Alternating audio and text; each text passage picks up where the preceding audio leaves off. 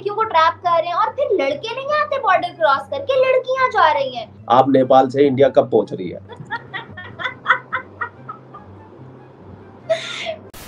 तो इसके ऊपर हिंदुस्तान में फ़िल्में बनेगी वेब सीरीज़ बनेगी इसके ऊपर। तुम पाकिस्तान में बैठ के देखोगे और अपना सर पीटोगे बोले इसने क्या नाक कटवा दी हमारे पाकिस्तान की? देख ले एक एक खाली एक लड़की है जिसका नाम हाँ। सीमा हैदर है पूरे हिंदुस्तान को तिगनी का नाच नचवा जी जी। और आपके वहाँ तो मौलवियों ने उसको वाजिब कत्ल बोल दिया फतवे निकाल दिए उसके लिए। से तुम खुद भी इंडियंस के कांटेक्ट में आई हो तो तुम्हारी खुद की भी हिंदी काफ़ी अच्छी हो गई होगी बेहतर हो गई शुद्ध हिंदी शुद्ध हिंदी बोलने लगी हूँ हाँ देखो शुद्ध हिंदी बोलने लगी हो। तो सोचे मेरे जैसी। पाँच छह और मिल गई या पाँच छह सीमाएँ और मिल गई तो क्या होगा? आप सवाल बाद में करना पहले मैं पूछ लेता हूँ कि आप सबसे पहले ये बताइए हमारे हिंदुस्तानी भाइयों को आप नेपाल से इंडिया कब पहुँच रही है ओ आपने तो पहले मेरी दुखती रग पकड़ ली मैं भी आपसे कुछ ऐसे सवाल करना चाह रही हूँ कि हमारी सीमा हैदर मैं पाकिस्तानी अवाम और पाकिस्तानी हुकूमत के बिहाफ पे आपसे पूछना चाहती हूँ कि हमारी सीमा हैदर को वापस सीमाएँ पार करा के कब भेज रहे हैं आप? तुम्हारी सीमा तो अब कभी आएगी नहीं। आने की सिर्फ़ एक ही शर्त है, अगर वो तुम्हारी आईएसआई ने उसको प्लान करके भेजा है, उसको ट्रेनिंग दे के भेजा है, और जिस तरीके से वो मतलब काफ़ी लोग उसके बारे में अच्छी बातें भी कर रहे हैं, काफ़ी लोग बुरी बातें भी कर रहे हैं, बहुत सारे हिंदुस्तानी ये भी चाहते हैं कि उस सीमा को पाकिस्तान भेज दिया जाए, और बहुत सारे लोग ये भी चाहते हैं कि नहीं, वो हमारे हिंदुस्तान की बहू बन के आई है, उसको यहाँ पे रखा जाए। तो हम तो भेजेंगे नहीं उसको। जहाँ तक मेरे पर्सनल है, वो सबका अपना ओपिनियन राय हो सकती है, लेकिन मुझे लगता है कि वो एक इनोसेंट है और उसके, उसको हम नहीं भेजने वाले। हम उसको हिंदुस्तान की भाभी बना के रहेंगे और पाकिस्तान के मुँह पे जूता मारते रहेंगे।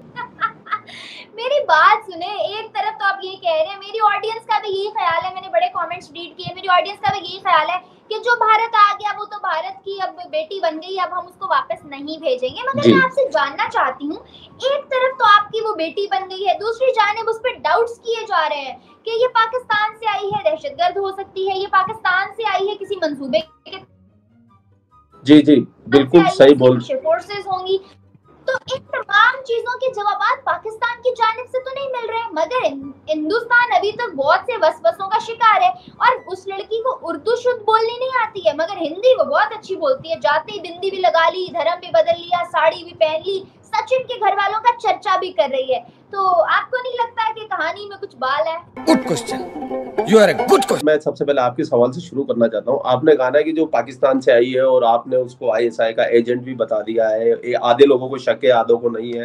वो इसलिए शक है अगर वो पाकिस्तान की जगह ऑस्ट्रेलिया से आती स्वीडन से आती साउथ अफ्रीका से आती यहाँ तक वियतनाम से आ जाती नाइजीरिया से आ जाती कोई हो हल्ला नहीं होता कोई मीडिया वाला उसके पास माइक लेके नहीं जाता। सरकारें अपने काम करती जाँच एजेंसियाँ काम करती है अगर उसको भारत की नागरिकता देनी होती दे देते कोई हो हल्ला नहीं होता ये आई है पाकिस्तान से और पाकिस्तान पूरी दुनिया में एक ही चीज़ एक्सपोर्ट करने में फ़ेमस है वो है टेररिस्ट आतंकवादी यस और पाकिस्तान की आईएसआई पूरी दुनिया के अंदर अब आप देख लें आप देख लें एक एक खाली एक लड़की है जिसका नाम हाँ। सीमा हैदर है पूरे हिंदुस्तान जी। को तिगनी का नाच नचवा जी जी पाकिस्तान की मैं मैं वही पाकिस्तान की एक लड़की ने हिंदुस्तान को तिगनी का। नाच नचाया हुआ है तो जी, बाकी जी। लोग क्या कर सकते हाँ तो सुन लीजिए वो जो पाकिस्तान की आईएसआई आपको अच्छे से पता है और मैं भी बता देता हूँ आपको और आपकी ऑडियंस को पाकिस्तान की आईएसआई हनी ट्रैप करने में नंबर वन है अभी थोड़े दिनों पहले हमारे अग्नि सिक्स की वो जो जानकारी लेने के लिए उन्होंने हनी ट्रैप करके हमारे एक वैज्ञानिक को फंसाया और उनसे गुप्त जानकारियाँ ली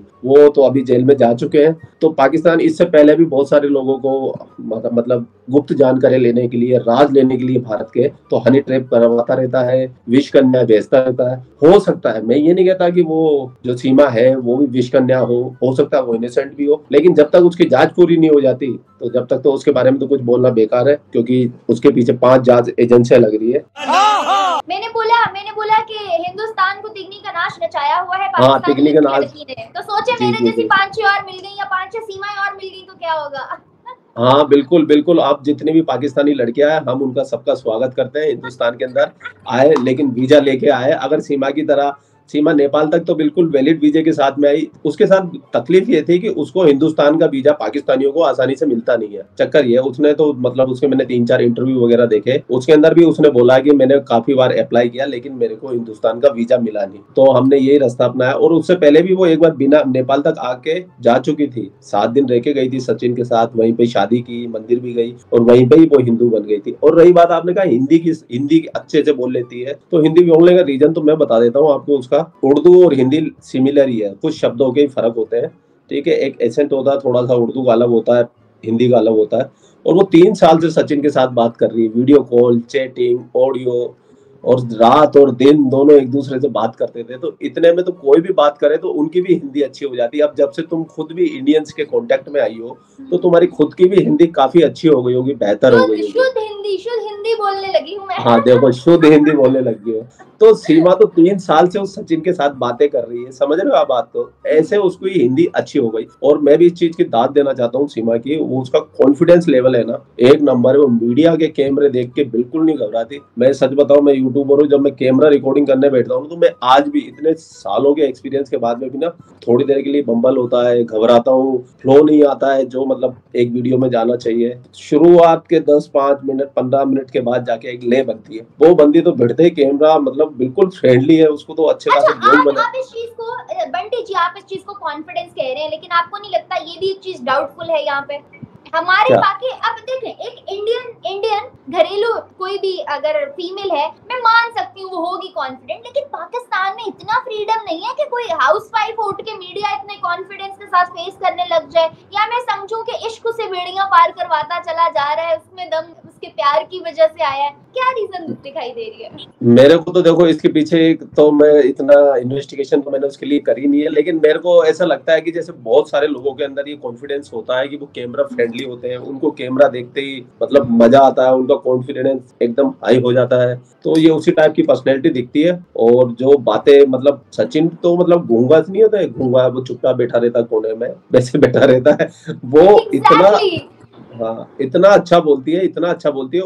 मैं बता रहा हूँ सच बता रहा हूँ अगर ये इंडिया की नागरिकता मिल गई और ये इंडिया में रही और ये बिल्कुल एक कन्या ही रही और एक लवर रही और अगर इसका कोई जासूसी के साथ में नेटवर्क नहीं निकलता है तो मैं गारंटी ले रहा हूँ इसको हिंदुस्तान की फ़िल्मों के अंदर भी आ जाएगी और इसके ऊपर फ़िल्में भी बन जाएगी। Well done well well फ़िल्मों की तो मैंने लेकिन कहानी लेकिन- सुनी है कि सीमा लेकिन अब एक सेकंड आप अब एक सेकंड आप आप हमारे हिंदुस्तानियों पे इतने आरोप लगाए जा रहे हैं। हमने तो देखो सीमा को बुलाया नहीं वो खुद चल के आई है। और हमारे यहाँ तो जिसको जो भी शरण में आता है हम शरण देते हैं।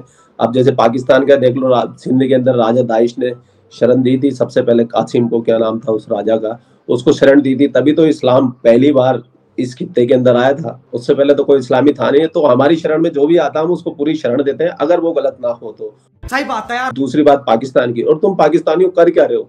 तुम्हारे डाकू धमकियाँ दे रहे हैं, असले गोले, बम, गालू, मैंने आज कल ही वीडियो डाला है। भारत वाले समझ लो, ये जो है ना, हिंदू हैं, बडनी के, कश्मीर के या कंदकोट के हिंदू हैं, वो समझ लो, ये जो लड़की है, वापस करो।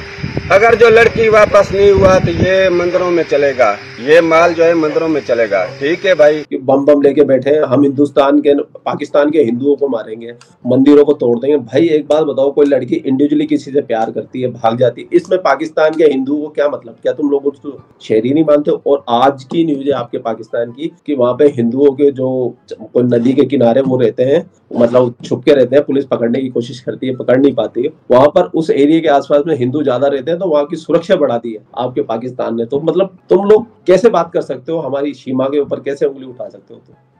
ओ हमारी सीमा पाकिस्तानी सीमा बन गई है हिंदुस्तान की सीमा। मैं ये चाहती हूँ कि पाकिस्तान की सीमा एक दिन हिंदुस्तान की और हिंदुस्तान के सचिन पाकिस्तान के बने ताकि ये दोनों मुल्कों के दरमियान जितना भी फसाद है ये सारा खत्म हो। अभी मैं ना आपको एक चीज़ दिखाना चाह रही थी मैंने आज ही रिसेंटली एक वीडियो देखी है और उस वीडियो के अंदर लिटरली वहाँ पे एहतजाज किए जा रहे हैं हिंदुस्तान के अंदर सीमा को लेके बवाल मचा रखा है इसने। इसके बारे में क्या इसके अंदर भी इसके अंदर भी देखो, मैंने आपको कहा ना, दो धड़े बन गए हिंदुस्तान के अंदर भी। एक धड़ा ऐसा है, वो ये चाहता है कि हिंदुस्तान में रहे सीमा, अगर इनोसेंट है, और भारत सरकार उसको भारत की नागरिकता दे। लेकिन कुछ मतलब जो मुस्लिम है, या फिर थोड़े लेफ़्ट विंग वाले हैं, वो ये नहीं चाहते कि सीमा हिंदुस्तान में रहे, उसको जासूस घोषित करने में लगे हुए हैं। और पता नहीं कौन कौन से उसके बॉयफ्रेंडों की वीडियो फ़ोटो मतलब फ़ोटो बना बना के मतलब जो वीडियो बना रहे हैं ना पाकिस्तान से, या हो सकता है पाकिस्तान सरकार ये करवा रही हो कि उसके एक बॉयफ्रेंड दो बॉयफ्रेंड और मुझे तो ऐसा लगता है अभी आने वाले टाइम के अंदर पाकिस्तान की तरफ़ से सौ बॉयफ्रेंड सीमा के वीडियो में आने को, आने लग जाएँगे। सबसे पहले तो पति आया, अब बॉयफ्रेंड आ रहे हैं। क्योंकि पाकिस्तान की ये बदनामी का काम है। पाकिस्तान की बदनामी का काम, सबसे अच्छा काम, सबसे बुरा काम तो ये है कि पहले तो पाकिस्तानी लड़की हिंदुस्तान भाग गई है। ठीक है, एक मुस्लिम लड़की ने फिर हिंदू धर्म अपना लिया। और आपके वहाँ तो मौलवियों ने उसको वाजिब कत्ल बोल दिया, फतवे निकाल दिए उसके लिए, और वहाँ पे धमकियाँ दिए जा रहे हैं, और फिर आप पाकिस्तान की बेजती हो रही है, पाकिस्तान की इंसल्ट हो रही है सीमा से तो पाकिस्तान के मेन स्ट्रीम मीडिया के अंदर इसके ऊपर कुछ ज़्यादा गुफ्तगु भी नहीं चल रही है, क्योंकि उनको ऊपर से ऑर्डर है, भैया, शांत रहो, इज़्ज़त खराब हो रही है यहाँ पे। अच्छा सीमा जी अभी अगर यहाँ पे एक फैसला अपनी जात के लिए करें तो वो यही होगा कि उनको हिंदुस्तान ही रह जाना चाहिए क्योंकि पाकिस्तान उनकी वापसी एक तो मुश्किल बहुत है और दूसरा अगर वो आएँगी तो उनकी जान को बहुत ज़्यादा खतरा होगा। जिस तरह के यहाँ पे सिनेरियोज है आपको पता है। मुझे बताएँ पाकिस्तान में तो ये सीन है वो खुद भी डिक्लेयर कर चुके हैं इस चीज़ को। उन्होंने पीएम मोदी से भी अपील की कि मुझे इंडिया की सिटीजनशिप चाहिए।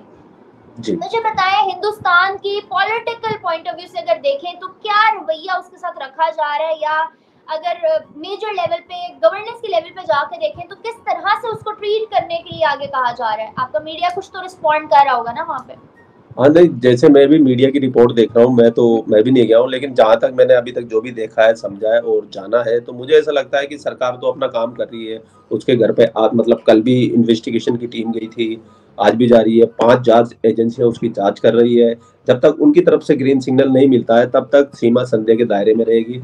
और भारत सरकार का जो संविधान है जो हिंदुस्तान का कानून है उसके अनुसार ही चल रहे हैं क्योंकि उसको तो जेल भेज दिया था और उसके वकील ने मतलब उन, उन दोनों की एक ही दिन में जमानत हो गई थी वो भी हिंदुस्तान का प्रोसेस है। उनको जमानत भी इसी शर्त पे दी है क्योंकि वो अपने घर से और जो उसका जो गाँव है मतलब जो उसके हस्बैंड का पति का जो गाँव है उस एरिया से बाहर नहीं जाएगी। इसी शर्त पे उसको जमानत मिली है तो वो कहीं जा भी नहीं सकती है। अब उसने रिक्वेस्ट की है अब जब तक जाँच एजेंसियाँ संतुष्ट नहीं हो जाती उनको नहीं लगता कि नहीं ये बिल्कुल ठीक है ओके एकदम सिर्फ़ प्यार में आई है और लेला मजनू के बाद सीमा सचिन की कहानियाँ सुनाई जाएगी।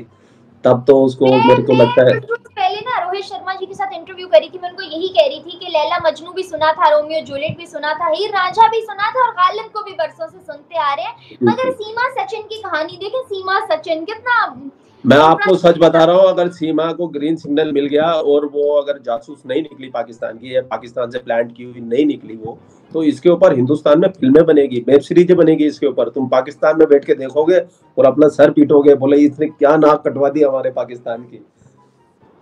नाम रखवा क्या दिया? मुझे तो लगता है कि उसके बाद बहुत सी सीमाएँ सोचेंगी बहुत सी पाकिस्तान बहुत सी सीमाओं की बात बताऊँ बहुत सी सीमाओं को तो छोड़िए आप। अभी अभी जनवरी के अंदर भी एक को बागा बॉर्डर छोड़ के आए थे इकरा आई थी अगर आपको पता हो तो। और बेंगलोर के अंदर वो लूडो खेलती थी वो लूडो में इश्क में पागल हो गई उसने भी सेम ये ट्रैक था उसका।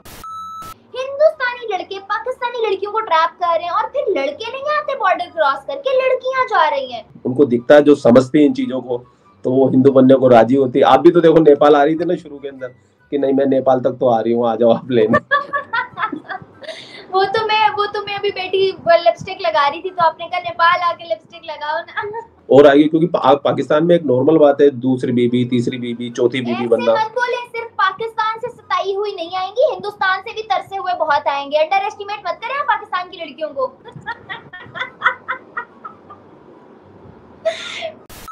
और आपको क्या लगता है कि सीमा को हिंदुस्तान में रहना चाहिए या इसको उसके चार बच्चों के साथ में पाकिस्तान भेज देना चाहिए? लेकिन ये बात भी बिल्कुल हंड्रेड वन परसेंट तय है, अगर सीमा पाकिस्तान गई, उसके बच्चों को तो खैर कुछ ना होगा, लेकिन उसको ज़रूर सुला दिया जाएगा, क्योंकि पाकिस्तान में इंसान नहीं, जल्लाद रहते हैं, हैवान रहते हैं। ये बात तो किसी से ढकी चुपी नहीं है और ये बात तो आप भी अच्छी तरीके से जानते हैं। हाँ रही बात फिजा खलीफा की तो उसकी पबजी आई ढूंढ रहा हूँ। आप लोगों के कमेंट ने मेरे होश उड़ा दिए। इतने लोग आईडी मांग रहे हैं फिजा की। तो भाई लोग, तुम क्या फिजा को इंडिया ही लाना चाहते हो?